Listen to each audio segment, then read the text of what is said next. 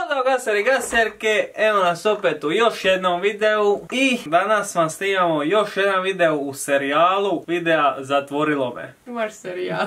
Međutim, ovaj put nije zatvorilo me, nego zatvorilo nas. Jej! Mi smo skupa u zatvoru. To vjerojatno znate ako čitate portale ili, Ako čitate. ili ako ste na fejsu ili ne znam ja, ili bilo u novinama uglavnom. Danas ću vam ispričat priču šta se sve izdogađalo, zašto, kako, šta mi mislimo o tome. I na kraju videa ćemo pitat vas šta vi mislite, jesmo li mi u pravu ili su u pravu država, vlasti, sistem ili šta god već. Prvo ćemo vam reći zašto smo bili u pritvoru, onda ćemo vam ispričati priču di smo mi bili, kako se to dogodilo i tako dalje. Znači, zašto smo bili u pritvoru? Radi jedne Instagram slike koju smo ja i Jela objavili, to je samo ja sam objavio, ali je sad Jela. Kad sam već platila. To je ona slika, znači ja i ona sa airsoft puškama stojimo kraj BMW-a M3 i ono najobičnija Instagram slika namijenjena recimo za maškare. Ja i Jela se obukli u neke kriminalce, malo se slikali za Instagram, ništa, ništa posebno. Jedno obično slikanje. Jedno obično slikanje i to je to. Da krenemo u priču, znači kao što vjerojatno znate ako me pratite na Instagramu ili mene i Lelu, bili smo na skijanju u Jahorini u Bosni i by the way taj vlog dolazi za koji dan kad ga editan. I ništa, bili smo tamo ne znam 3-4 dana za Valentino, bilo odlično, sve super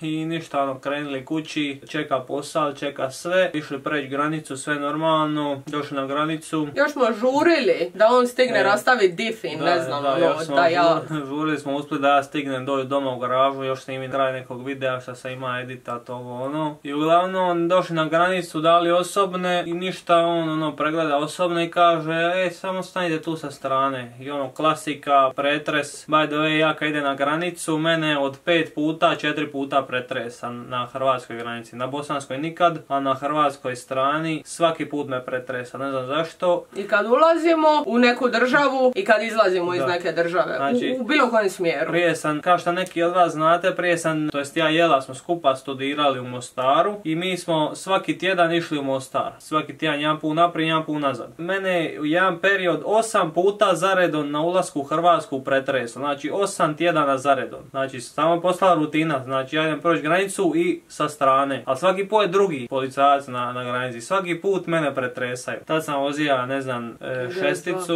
ili E92, uglavnom dobro, mislim šta znam, vidim ulca sa šesticom, misli ko zna šta radi, dila ovo ono i ne znam ja šta im prolazi Sve nešto kroz glavu. primijetiti. Jedan period, ne znam zašto nešto popravlja, je vozija Peugeot. Onog invalidskog Peugeot, ali doslovno je invalidski, s onim vratima, Da, kliznim.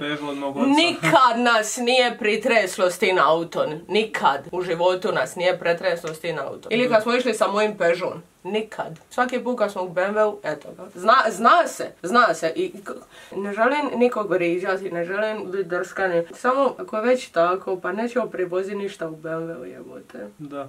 Kako, kako da to pristojnije rečem? Uglavnom, ništa, mi stali na granicu, reka nam da stavimo sa strane, mi sam normalan pretreska, inače, by the way, pretreslo nas i kad smo išli u tamo na putu, kad smo izlazili iz Hrvatske, by the way, zašto nas pretresa na izlazu iz Hrvatske, šta je mi je bitno, nešto iznosimo ali je bitno je nešto unosimo u Hrvatsku, ali dobro. Valjda je to posao bosanske granice da provjeri jel mi nešto unosimo u Bosnu, a ne u- uglavnom. Stali mi sa strane, u meni govori, ugasi auto i daj mi ključ. Kada smo atentat napravili na Ja, Jakovini. ja govorim dobro, ja ugasim auto, dam mu ključ kroz prozor, on ode ča i nakon 5 minuti se vraća, ka, ajde gospodo izađite iz auta, dojte s menom, imam vam nešto reći i ništa mi tamo izašli, ušli u kancelariju od tog gospodina policajca koji je by the way bio skroz pristojan i dobar prema nama i pozdravljamo ga. Onda smo tamo čekali u čekaonici nekoj dok je on tamo zva na telefon u svom uredu. Izašao iz kancelarije rekao kad sam stavio osobne izbacilo je na obe osobne crveno svitlo da vas moramo zaustaviti. To jest stavi sa strane e, naredba iz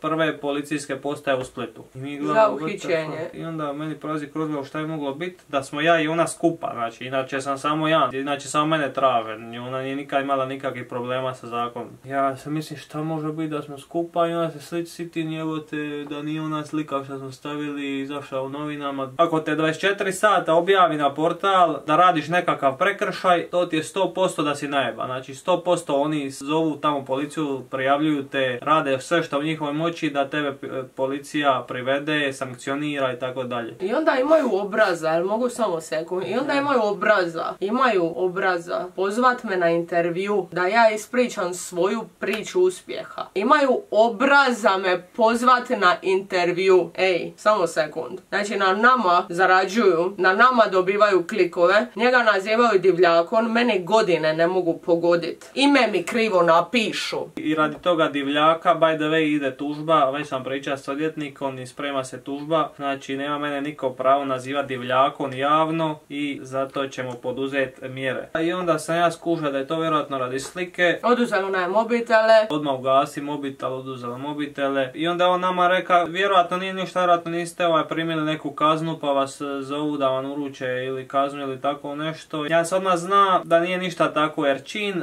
oni inzistiraju da te uhite, to jest da te privedu, to jest da dođu šta prije do tebe. Uvijek do sad kad je bilo tako nešto, uvijek su me tili strpa u pritvor. I naknadno na bilice, znači uvijek je bio kraj, krajni cilj bilice. Znači oni bi probali mene strpa u bilice, pa ono ako uspije, uspije, ako ne uspije, bar smo ga strpali u pritvor jednu večer i to je njima dovoljno. Glavno tako da sam zna odmah da se sprema nešto malo žešće nego što je taj policajac na granici nama reka iz prve. Onda smo čekali nekih poure 45 minuti da se ti jave iz prve policijske u Splitu. By the way, to je bilo u 10, 10 i po na večer. Onda su se napokon javili, on je pričao s njima 5 minuti. On je izašao iz ureda i reka jebi ga ljudi, nažalost izgleda da vas oni žele privesti. Evo sad su poslali Maricu iz Splita po vas, tako da moram vas tu držati dok oni ne dođu po vas i odvedu vas u Split, u stanicu. Ja, šta u stanicu, Bog te vidi, a šta je, šta je vama? Pa diću s autom, ka tu auto puno stvari. Sad oni dolaze ka s kombijem po nas u stanicu. Znači, očito je koji je cilj. Strpat nas u kombi, strpat nas u pritvor, da bi sutra nas trpali na sud i da bi, oni se bar nadaju, sudac nama da zadržavanje na bilicama radi slike na Instagramu. Ništa, onda smo čekali tu jedno dvi i po ure, otprilike smo čekali da oni dođu iz Splita, zato što su falili prvo su u Imotski išli umjesto u Trilj, falili su totalnu granicu i onda su se morali vraćati i tako dalje. Onda mi je ovaj gospodin policajac na granici dopustio da zovem e, Žunića i Perića da dođu po M3 tamo na granicu i onda su i oni čak došli prije od tih policajaca iz Splita koji su trebali doći po nas kombijen i ništa, oni su došli uzeli auto. Tamo je bio pun rezerva, rekao sam Žuniću ka imaš parat rezerva da nisi ni slučajno se spustio ispod, to znači da si se voza po gradu cijelu večer. Kasnije kad sam došao do auta sam vidio da je točno bilo na kvadrat, znači u milimetar je bilo točno na onoj kazaljki. Biće ovaj, vozija lagano do Splita, nije potrošio puno goriva i onda pun ga se vozija biće po Splitu cijelu večer dok je došao do kvara Trezara i, i onda ga parkira točno ispred kuće. I onda na Nježunić napisao svoj broj mobitela na papirić i onda kasnije smo ga zvali da nam donese jest u pritvor i tako. Hvala Žunić. Da, hvala. I ništa, došli su ti policajci iz Splita sa kombijem po nas ili... Interventna je došla. Inter, njih trojica došli, ono, trojica nabildanih došli po nas, ne bi da smo ne znam nijak. Top, top. Ali ono, ne mogu se žaliti, svi ovi na granici policajci su bili super prema nama, ovaj jedan me čak pita da mu uh, snimi neki video za ne znam rođaka, nečaka, ne znam nija za koga, ne sjećam se. I ono, svi su bili više manje pristojni prema nama, tu se nemamo na šta žalit. Vodili su nas do wc Pretresli su nas prije WC-a. da neće dat da pišamo. I ništa, onda su nas e, ti policajci doveli u pritvor tamo na općini gdje se vade osobne. By the way, to je meni jedno već sedmi, osmi put u pritvoru, a Eli je to prvi put. Prije bila samo komad daske, a sad su stavili mali madrac od 5 centi na taj komad daske, tako da je samo malo udobniji nego prije. To sam već pričao, to je doslovno mala u podrumu dole u policiji, nema nikakvog doticaja sa svitlo, nikakve prozore, ništa, samo u podrumu dole, sobica od 2-3 kvadrata, samo ono ništa ne, samo rupa i dole daska, drvena kutija i na toj drvenoj kutiji mali nadmadrac. Kao strunjača za tjelesne koje smo imali u osnovnom. E, tako nešto, da. Doslovno strunjača. I onda možeš uzeti tamo koju deku i onda od te deke napraviš još kušin i s drugom dekom se pokriješ i to je to. Ja se samo nadala da ćemo moći biti skupa u ćeli. Znači da smo mogli biti skupa u ćeli, najbolja večer u životu. Ela dobila, Majke mi. Ela dobila apartman, ćeliju, laganini. Ne kužim uopće šta je apartman ćeli, a isto je bilo ko Ve- veća je 20% i ima rešetke. Kaj onda ti ulazi svjež zrak unutra, ove ostali ima ona vrata željezna, debela 20 Sa onim malim prozorčićem Mali ovako. prozorčić ovako je. E, Ja sam dobila rešetke, jej. Dobila apartman laganini. Da, i onda čim smo ušli tamo, ja sam odmah pitala jel, mo- jel možemo nas dvoje biti skupa u ćeli. I kako ti je prvi doživljaj pritvora? A, bilo mi je pretužno što nismo mogli biti skupa. U zadnjih tipa godinu i nešto nismo niti jednu večer proveli odvojeno, svaku večer smo spavali zajedno i ovo je sad bila prva večer da smo spavali odvojeno. Tako da to mi je bilo stresno, ali sve ostalo nije bilo strašno. Ne možeš reći da je strašno, samo jako neudobno. Najviše me živciralo to što nisam to zaslužila, kužiš. Da sam nešto sjebala i da su me poslali u pritvor, ok, isplatilo se kao, kužiš. Bar sam nešto napravila i ok, to je sad kazna, nema veze. Prispavat ću tu jednu večer, šta će mi biti. Ali nisam ništa napravila, nisam čak ni ja tu sliku objavila. Svađaš, znači, apsolutno ništa nisam napravila. Iz hotela sa pet zvijezdica su me... uznemirila si ljude sa puškom, šta je tebi?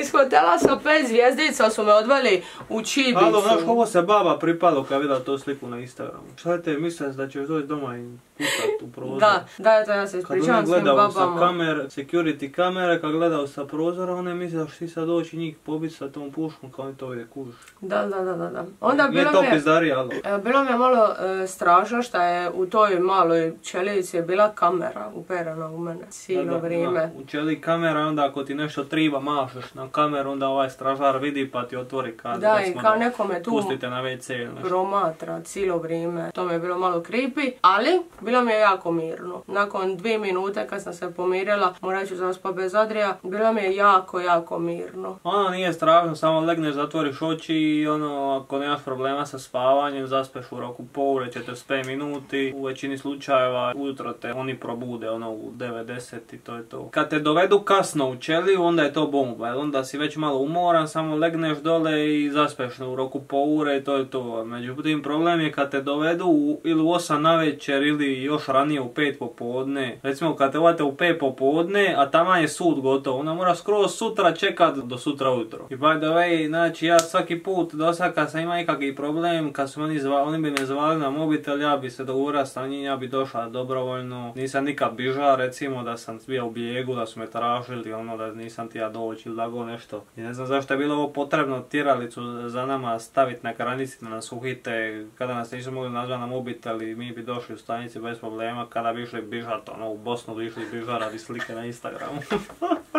I ništa, ono, zaspali normalno, probudili nas oni ujutro u 10 i onda šta je bilo? Pretraga stana, gdje su puške. Ja odmah reka, puške nisu naše, puške su airsoft puške, puške su od toga i toga, možete ga zvat, on će dobrovoljno doni puške odmah tu kod vas u stanicu na pregled. Ne, ne, moramo mi obaviti rutinsku pretragu stana. Ja velim, pa ste vi normalni, ćete mi materi ulazi u stan, sedam policajaca će mi ulazi u stan materi da me gleda u susjedi, da mi pretražu stan ko najvećeg dilera, kriminalca u Splitu, pa šta je s vama? Ne, ne, moramo to napraviti, to je rutinski, to se mora, ne znamo mi, e, moramo mi to provjeriti, biti sigurni. Ja govorim, dobro, ajde, idemo. I ništa, došli mi tamo ispred moje kuće. Prvo ja u autu sa još tri policajca, parkirali sam, smo čekali još jedno 20 minuti, po ure ispred kuće mi. Došao još jedan auto sa još 3-4 policajca. I njih 7-8 ka su došli tu pretraživati stan. I to sve gledao moji susjedi dole ka najveći kriminalca, dolaze 7 policajaca, dolazi s menom pretraživat mi stan. Sjetimo Ja- se radi Instagram slike. Da. Ne, o, ne, ne, ne, ne, ne, radi Instagram slike. I to znači, opće je poznato čime se mi bavimo. Bavimo se Instagram slikama, YouTube videima. Ali ne, mi, mi se bavimo oružjima, drogama i tako dalje, pa moramo sad obaviti detaljan pregled. e, Resursi prostorija. su se potrošili iz države radi naše Instagram slike. To je samo svaka čast. Ja ih uveo tu u garažu dole, nakon 5 minuti banija moj otac dole u garažu. Šta je ovo? Ja govorim, evo moraju pretražiti stan i garažu radi one slike koje sam objavio. Kaj moj otac to čuva, on popizdija, nije mu ga virova popizdija. Počeo se dera na svih, vriđati ih, izgovorio im svašta, zabranio im da ulaze u njegov stan, on govori, on živi tu, tu je njegov studio, tu je njegova garaža, gore da niste ni slučajno ulazili u stan od mene i moje žene, on tu ne živi već mjesecima, da niste slučajno ušli u stan, imate tu pregledat garažu i njegov studio i to je to ka. I onda je tu bila mala drama, ali dobro, onda se ka sve smirilo i onda sam treba zvat ka dva svjedoka. Dva prijatelja sam mora zvat da dođu svjedoči dok oni pretresaju stan, to je garažu, da ovaj, ne bi bile neke, ne znam, nepravilnosti u tom postupanju, ovo, nemam pojma. Uglavnom sam zvao tamo priko Antona i Perića, oni su došli tu ono bez na brzinu su pregledali tu garažu. Evo tu ima ovaj papir gdje piše ka taj naredba za pretres. Tu je navedeno stan na adresi toj toj i onda još četiri moja auta. Vozilo marke BMW M3, vozilo marke BMW 645, vozilo marke BMW 323 i vozilo marke Smart Coupe Fortu. Naređeno je da pretražu sva moja auta. A jedno auto na Čijovu, drugo u Zagrebu kod Limara, treće Ela koristi i četvrto dobro M3 je tu jedino bija ispred kuće. Njega su pretresli sedam puta A, već. a, a M3 pretresli noć prije na granici. I to temeljito, ono, svaki ruksak, svaka torbica, svaki džepić, sve živo. Šminku, izvadi sve, Da, sve, sve. Čisto reda radi su ono pogledali na brzinu M3. U stan nisu ulazili uopće, pretresli su tu na brzinu garažu, studio, pogledali ovako iz daleka. M3 isto otvorili, pogledali bez veze gepek i to je to, nije sad bilo ništa dramatično. Nisu okretali sve naopako da bi ono našli ne znam ni ja šta. I onda još jedna smišna stvar, kao oni me pitaju, e, ako imaš išta ilegalno, odmah nam to prijavi i predaj. Ja govorim ka, nema ništa, ima jedino ovaj ovdje pištolj plastični, ima sam tu neki pištolj, ono šta znam, neki igračko, ono šta, šta ka puca, ne puca ništa iz njega, nego samo ona eksplodira, ona mala, ja se čuje ono trška mala petarda, ajmo reći. Ima onaj koluc s onim crvenim, ako znate to kadica. To je ka zapravo metalni pištolj, ajmo reći ka igračka, ali metalni pištolj, ali cijev je začepljena, znači ništa ne ispucava, niti one žute metke, nego samo radi taj zvuk, ajmo reći ka trš, trš. I sad oni tu, njih tri, to pregledavaju po ure, doslovno gledaju sa svih strana, gledaju je li to ikako moguće pretvoriti u kao ružje, gledaju tu cijev, pregledavaju, govorim, mi ćemo ovo uzeti kao na pregled, u svaki slučaj. I onda nakon po ure kad su skužili kad, šta će, šta će pregledavaju jebenu igračku od mog brata. onda su kao rekli, aj dobra, evo ti kao vrati je. Ja ne mogu vjerovat. Ja ne mogu vjerovat. I ništa, onda su tu završili taj pretres, šta je s tebom nju je isto pretresalo stan.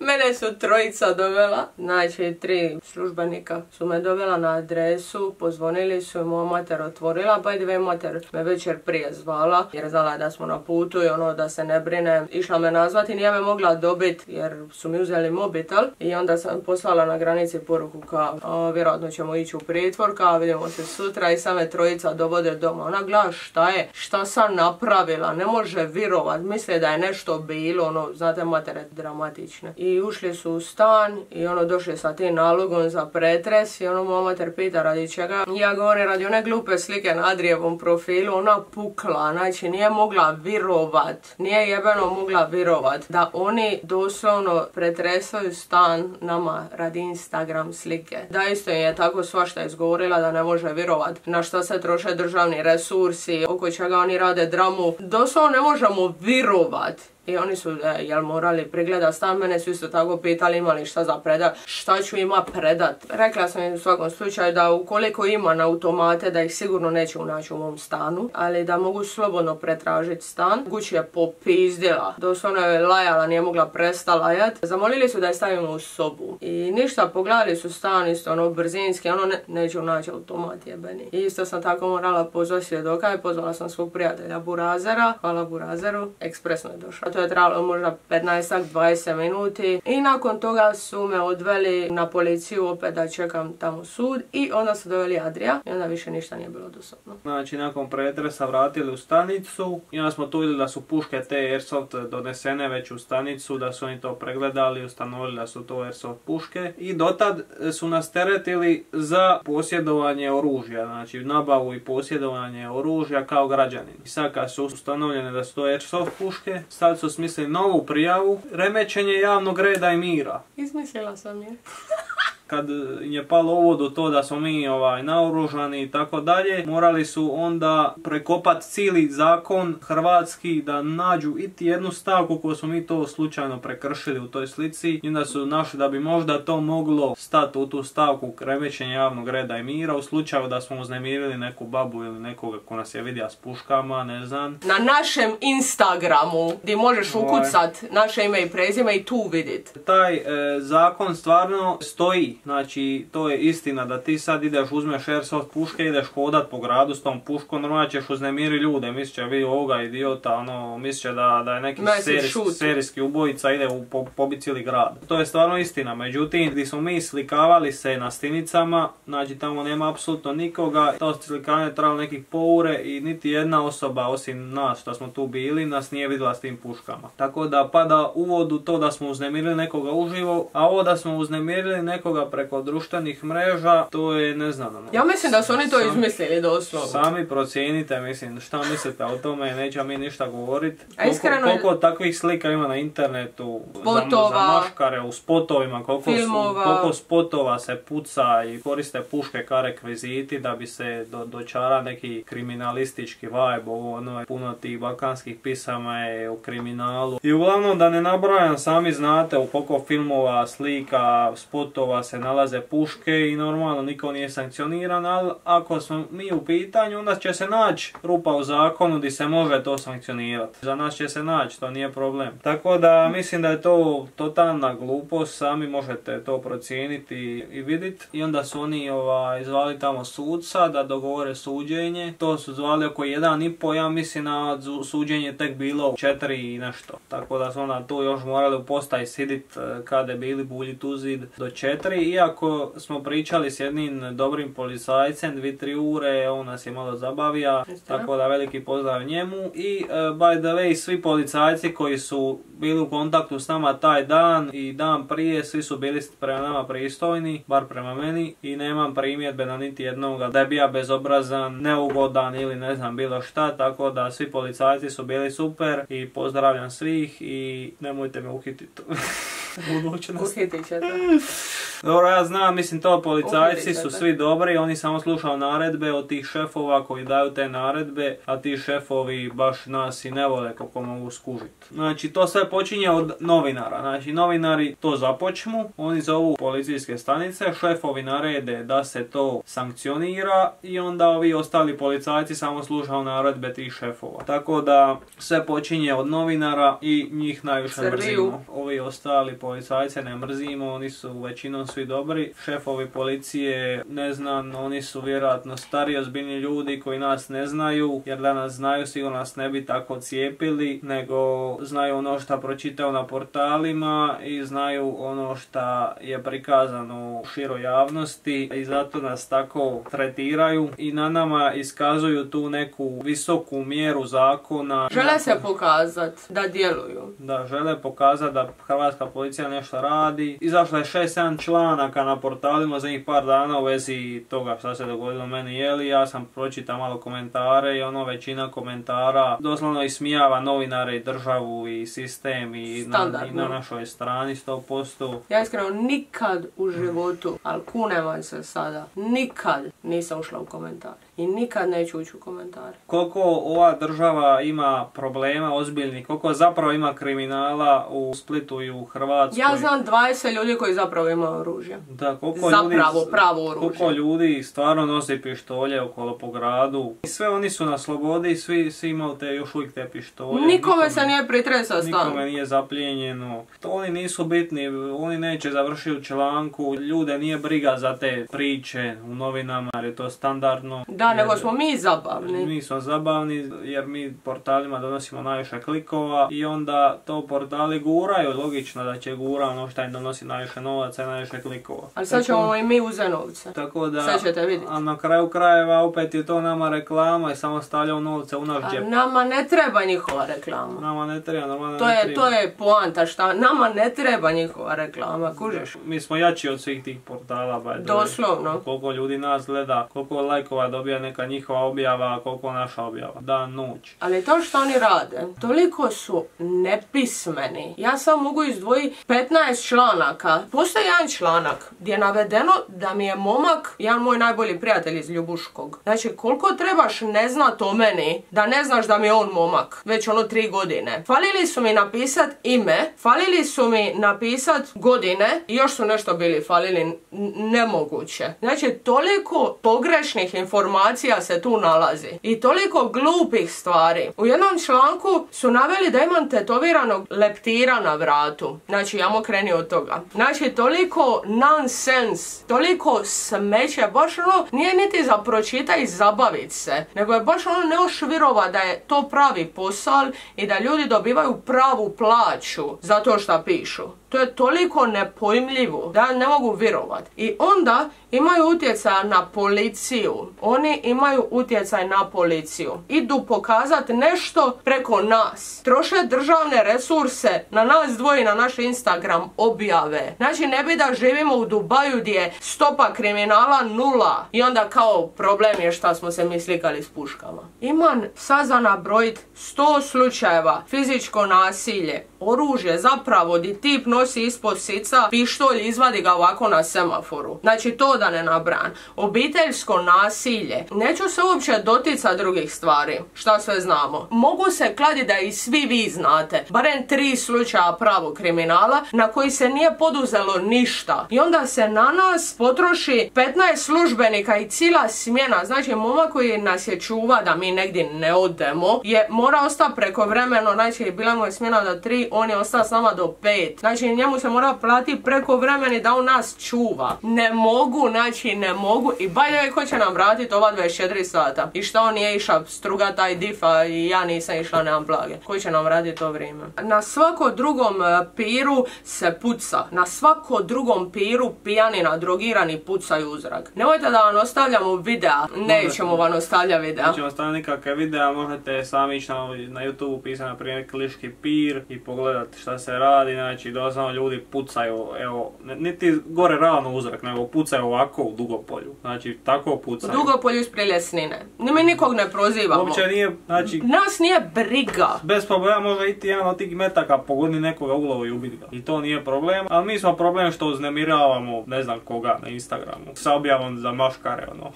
Onda smo išli na sud i by the way, mi pošto smo prošli granicu iz Bosne, mi smo u samoizolaciji i oni su sve to s nama izvodili za njih ono 24 sata dok smo mi u samoizolaciji, trebamo biti doma. Oni su nas vodili tamo malo vamo, malo u postavi jednu, malo u drugu, malo na sud. Izolacija ništa nema veze, to sad to nije bitno uopće, to Da, nije, da, to da, se stavlja sa strane, sad bitno je vas sankcionira šta prije na sud, šta prije u zatvor, nadamo se. I ništa, onda normalno došli smo na sud, ja sam zvao odvjetnika, moj odvjetnik je rekao sudcu, oni su u samoizolaciji, ovo je nezakonito i, i sudac je rekao je, u pravu ste i pustio nas je na slobodu i odgodio suđenje za neki datum, ne znam kad, valjda za 1, 2, 3. I još mi je odvjetnik rekao da je policija tražila 15 dana zatvora za nas dvoje. 15, 15 dana na bilicama je policija tražila od sudca. I sudac je normalan čovjek koji je ono vidio da, da je to glupost i pustio nas je na slobodu. Nije prihvatio tih 15 dana zatvora. Ja mislim da se to ni ne može prihvatiti. Negdje sigurno piše Može da ne možeš ići u zatvor radi Instagram slike. Može, oni mogu šta god žele, šta god oni žele, oni to mogu. Znači. Ma ne može. To je prava diktatura. Znači šta god oni odluče, oni to u cijelom tom procesu od početka do kraja mora se pronaći pronaći jedna, jedna razumna osoba da to prekine sve. A to je iskreno E, teško. Ako se ne pronađe niti jedna razumna osoba, onda oni mogu šta god doći. I by the way, u mojoj optužnici stoji Ela Jerković se tereti zbog toga što je objavila sliku. Ja nikad nisam objavila sliku. U kojem pozira sa svojim dečkom Adrianom la la la. Da, mi Ja doslovno- nikad nisam objavila sliku. Doslovno isti opis optužnica imamo nas dvoje, ja sam objavila sliku, ona nije ništa objavila. Zamisli, znači ja ne mogu vjerovati da sam prispavala u Čibi zbog slike koju ja nikad nisam objavila, još mi piše da sam objavila, tako da sam došla doma i momentalno objavila sliku. Mislim, kad sam već isplatila, onda će i biti na profilu. Da sve što niste vidjeli sliku, ostavit ću vam dole link od mog Instagrama, pa idite pogledajte sliku. Slika je baš brutalna, ono baš prava, ono umjetnička Da, zanima slika, me- Kao iz filma nekog, ono. I by the way, još jedna stvar, znači mi uru vremena nakon što smo izašli sa suda i došli doma, uh, objavljen prvi članak, Ela i Adrian dovedeni pred sud radi slike. I sad mene zanima, ja sam bio u policiji prije ne znam koliko, ja sam pita tamo te policajce, jel, jel legalno, jel to dozvoljeno da policija samo tako privatne informacije daje u javnost. Oni su mi rekli nije, ne, ne može se to baš tako. Ja sam ja pita pa kako je moguće da novinari saznaju nešto skoro prije nego ja. I onda su meni rekli da ne znaju. I evo sad smo vidjeli još jedan put, znači mi smo izašli i došli doma, bum, prvi članak odmah. Tako da ja pretpostavljam da novinari plaćaju nekoga u policiji da im obavještava te informacije. Da. Čim dobije zanimljive informacije u vezi mene i Jele ili bilo koga koji je zanimljiv novinarima, odmah oni zovu tamo, dobiju ne znam postotak neki i novinari dobiju šta žele da bi zaradili novce na, na tom članku. Policijski službenik dobije ovaj, neku nagradicu i to je to, ali nikoga ne optužuje, ništa ne govorim, eto, ra- razgovaramo, pretpostavljamo, ali eto ne znam, ili možda neko dobrovoljno iz policije nas ne voli pa šalje odmah ovaj, zove novinare i tako dalje, ne znam. Uglavnom to se ne smi, tako da ne znam kako, kako se to non stop e, dešava i ponavlja, ali šta je tu je. I eto ga ljudi, mislim da smo vam sve više manje ispričali šta nam se dogodilo i šta mislimo o tome, tako da sad nam u komentarima vi pišite šta vi mislite o ovoj situaciji i ko je u pravu. Mi nikoga ne mrzimo, osim novinara, oni su šugavci šugavi i mogu nas se napuši k***ca i 24 sata i dalmatinski portal i slobodna indeks i svi mogući portali. Niko nikad nije ništa dobro pisao nama, samo svi seru, tako da se svi mogu napušit. O mene su čak i u početku lipo pisali. I više ne pišu, tako da ko ih jebe. Ali me još pokušavaju dobrovoljno pozvat na intervjue. I ne mogu vjerovati da imaju obraza to napraviti. Pozvat me na jebeni intervju. I by the way, ukoliko u buduće budete li nešto pisao nama, nek bar potraže informacije kako nam se piše ime, koliko imamo godina i tako te neke osnove osnova. I nek malo uzmu gramatički riječnik, znači riječnik hrvatske gramatike da pročitaju i tako da se malo educiraju. Ja bi napisala bolji članak. Dobro, ima sigurno dobrih novinara, nećemo sad vriđati. Ima dobrih novinara. Nećemo vriđati novinare u globali, ali zna se na koje novinare mi trenutno mislimo i o kojima pričamo, a to su novinari koji stoje iza članaka koji su napisani o nama u zadnjih godinu dana. Mislimo da su svi debili, teški, Da ima male kuće. da. Ostat ćemo suzdržani što se tiče našeg mišljenja, ostavit ćemo vama prostora da donesete svoj zaključak, je li ovo bilo potrebno? I ništa, evo, u znak podrške nama idete kupite kovu benzin hudicu ili nešto drugo na adri.store. I ništa ljudi, to je bilo to od ovog videa, na gledanju. Aj, boj!